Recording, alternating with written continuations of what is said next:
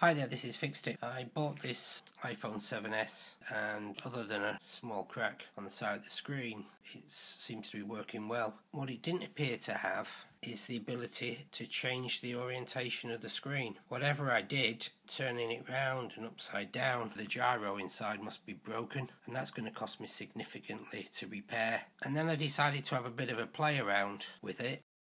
And then what I discovered is if I go into settings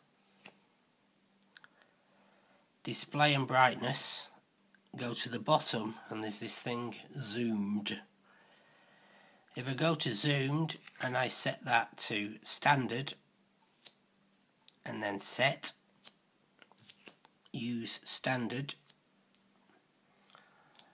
and it takes a couple of seconds, and then go back and out, that suddenly